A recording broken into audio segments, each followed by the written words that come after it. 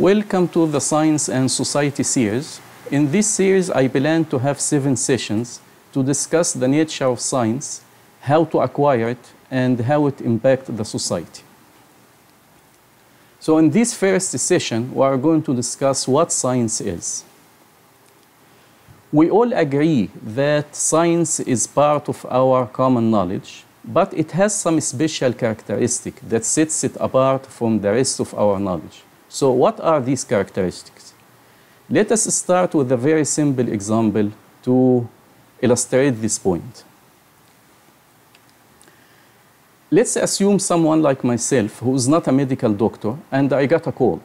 And it is part of my common knowledge that when I, someone has a cold, we should avoid some particular types of food. Is that science? I would say no. Why? For several reasons. Number one, because I'm not a medical doctor, I don't know what are the active ingredients in the food that would affect my cold, whether to make it worse or to keep it or to get it better or no effect at all. And number two, that claim is not verified in my mind in the sense that I didn't try to challenge it and see if I really eat these particular types of food, would my cold get worse really?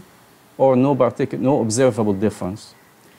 And number three, I just know this piece of data through limited number of people. Maybe I just have heard it from my parents, that's all.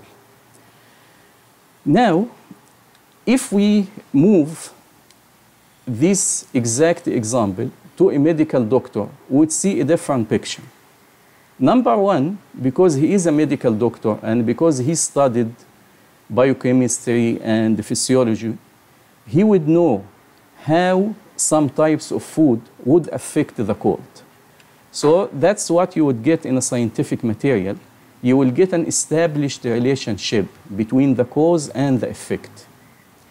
And number two, again, because he is a doctor, he would have access to periodical journals that publish some data, and they would really do a study over enough number of people to verify that claim. So this one is particularly important that you would get verified claims. And as I said before, these claims will be supported by sufficient amount of supportive data. So if we look at these factors all together in a holistic view, you will see that these factors form our perception about science. That's what make us feel what science is. And we seem to have reached an important point here. These factors taken together constitute what we call it the scientific method.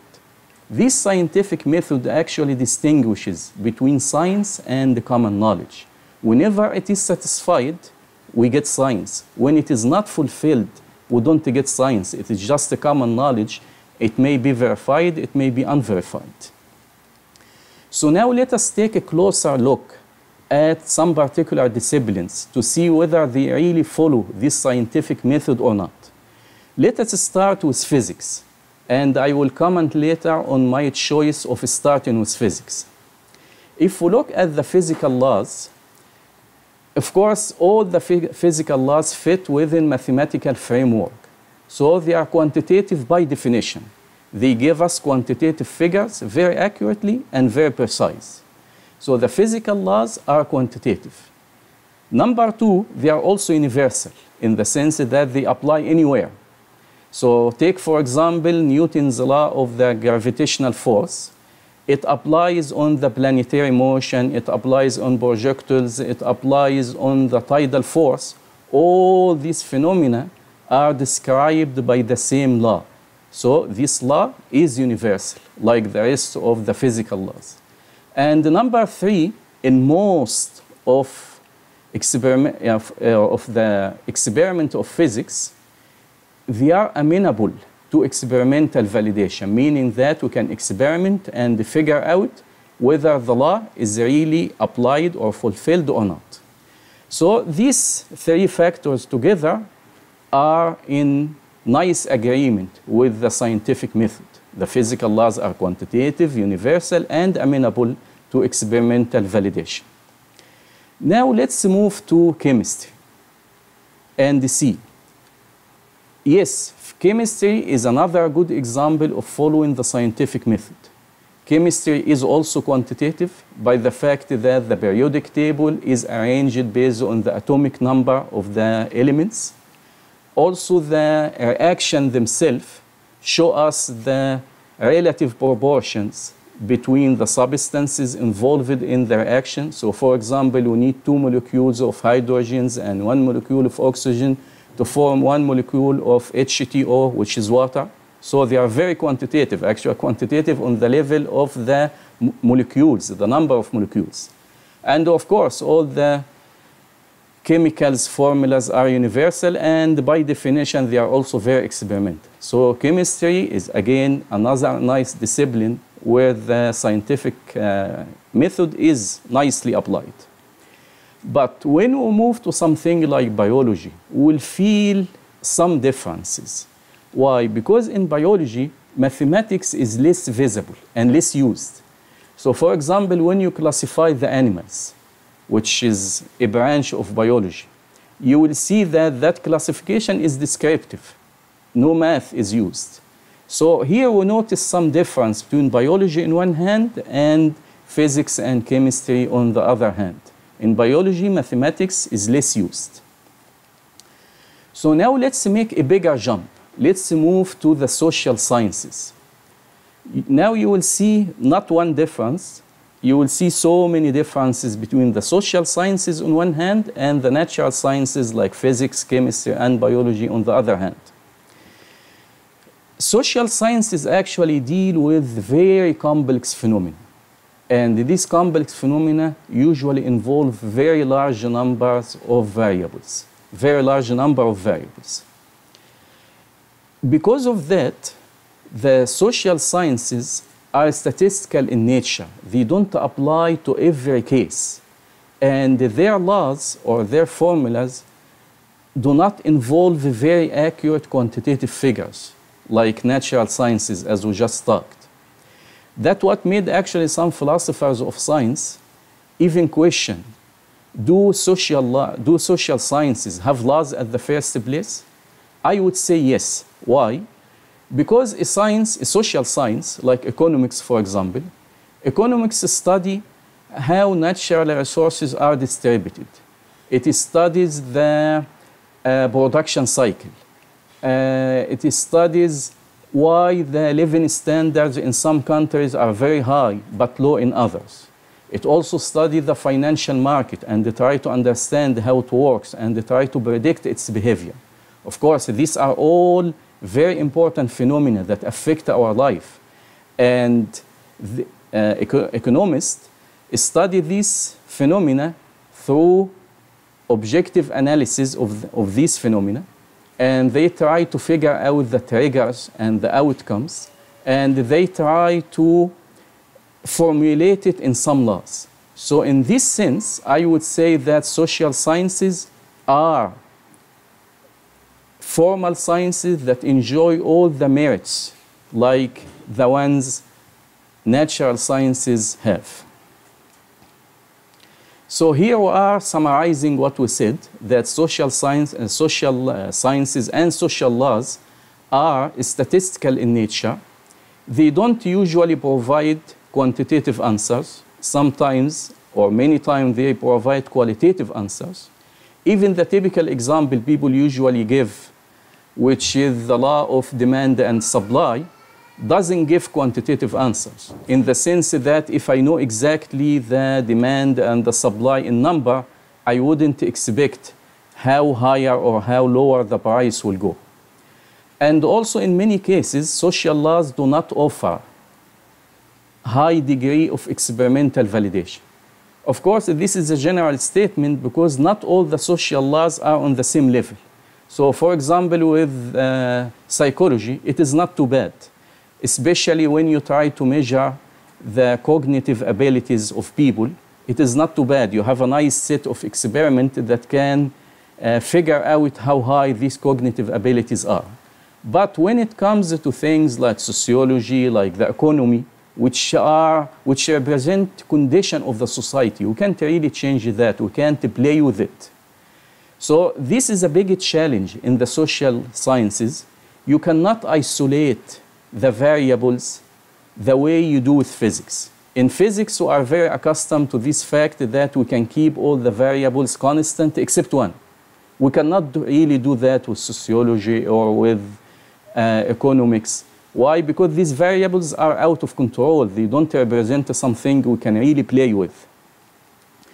So it seems that now we reached some conclusion that natural sciences give quantitative numbers, but social sciences don't really give that quantitative figures, and also they are not very amenable to experimental validation. However, we have to notice that what we consider from natural sciences only three physics, chemistry, and biology.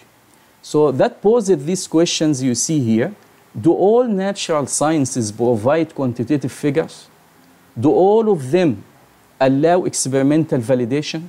So now let's expand our focus and consider more natural sciences and see if we'll keep the same perception or not.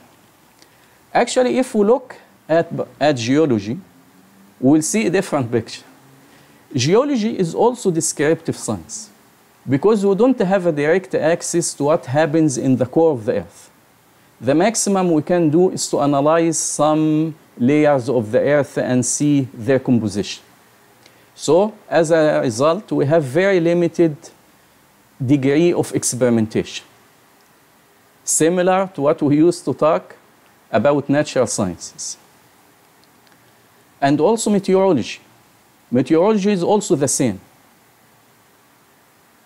They also analyze very complex phenomena, and these phenomena include so many variables, and as a result, we don't really have much room for experimentation. That's why the weather forecasting are not always correct. Some of them turn out to be wrong. So as we can see here, we started to hear some stuff about complex phenomena and about many variables involved and about limited degree of experimentation in social science, in some natural sciences, very similar to what we used to talk about in social sciences. So that lead us to realize that the scientific method actually varies a lot from one discipline to another. And there is no one recipe you can apply to all of them. The what I would say, what qualifies some discipline as a science is the objective analysis, the analysis that lead us to figure out what is the cause and what are the effects, and to understand the dynamics and try to use that for our own advantage, whether in doing useful or taking useful measurements or designing some useful devices, etc. That's what I would call science. And that applies to natural sciences the same way it applies to social sciences. And that's why we shouldn't, I shouldn't actually have started with physics. Because it's such a science that give you, that mislead you. It gives you the impression that all natural sciences are actually subject to experimental validation, which is not the case. Actually, even some philosophers of science themselves, they talk about experimental validation uh, as if it is given for granted in all natural sciences. And after you analyze what they say, it turns out that they are talking about physics. They are not talking about all natural sciences, actually. So since we talked about science, let us give a couple of examples about pseudoscience, fake science. Astrology actually is one of them because astrology is based on the assumption that the locations of the planet affect our lives, which is a logical assumption and there is no proof for it. Another example of pseudoscience is evolution. For me, evolution is an ideology, it's not science. And it is based on unproven conjectures, so it wouldn't qualify as science. People also compare between science and art. What are the differences between science and art? We'll just mention two, two of them briefly. Number one, science describes the reality. The more accurate you describe the reality, the better that science is. But actually, art deviates from the reality. Art is an expression of the inner feeling of the artist. So, this is one big difference. Another difference is when you do science, whatever you design or whatever you reach, it should serve a particular function. But actually, for art, art is not mainly concerned about doing something for your life. Actually, mainly, art is about stimulating the sense of beauty. So, these are two big differences between science and art. However, there is no logical contradiction about combining them. Sometimes science and art are combined. And an example for that is image processing. Many of the techniques of image processing are heuristic. And people say image processing is an art, not really science. But of course, it is based on many mathematical uh, derivation and the quantitative number is definitely there. So the science part is there. So I would look at image processing as a nice combination of science and art. And maybe there are other examples too. So we end this session by asking a question. We qualified a discipline as science based on the fact it studies a phenomena, a phenomena and it analyzes it in an objective way. But what about a discipline like accounting? Accounting actually doesn't study any phenomenon. Actually, accounting, according to my understanding, is a way for recording the financial data. And based on this nice recording of the data, we can come up with some useful indicator about the financial market or whatever financial uh, activity we are dealing with. So, would you qualify accounting as a science? And if you think yes, tell us why, based on which criteria. So please, you can put your input in the comment, and I hope that you will continue with me uh, in the next session. So please stay with us. Thank you.